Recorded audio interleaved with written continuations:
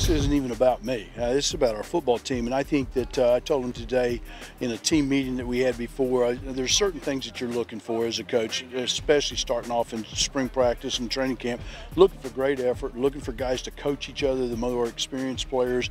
Uh, you're looking for guys to learn, to listen, to compete, and those kinds of things. We're, we're preaching on swarming to the ball a lot. So um, Sage is doing a good job being very vocal as our, uh, as our new starting middle linebacker and replacing Wentz. So um, I'm excited to see uh, the kind of energy that he's bringing to us.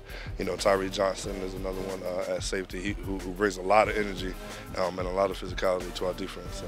As the running back group, you know, we come out here and we work every day. And losing day one was a big part of us, but you know, we got guys that are ready to step up this year and compete today you know, we came out and just said we have to step up as the backs and just do what we came out to do and move forward from there.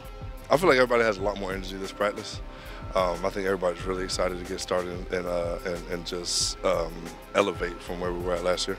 How's the time for new leaders to step up? I mean, I think the guys like A.J. Johnson, obviously he's been a, a huge leader last year with the defensive line. We've got a little bit of the interior guys uh, that are coming back, so, you know, they'll provide a little bit, but we're, we're breaking in a whole new secondary and breaking in pretty much all new uh, linebackers.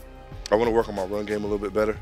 Um, I had a, a, hard time with that last year. As uh, last year, um, many people don't know, but that was my first year like playing a true D tackle. So um, I want to get better on my run game and um, try to elevate my pass rush skills. I mean, we're so much light years further ahead. The kids know what to do. They know protections, they know coverages, they know checks, and so instantly, you know, now you've got experienced guys that can actually help some of the younger guys that maybe didn't play as much last year. Last year, you know, Coach, one of Coach Davis' first days out here with us, so we didn't really know what we were getting ourselves into. But I feel like this year we come out, we know what we're, we're, where we're headed and what we're getting ourselves into, and just the energy. The energy is different, the vibe is different. You know, we're all ready to compete and just keep the uh, program heading in the right direction.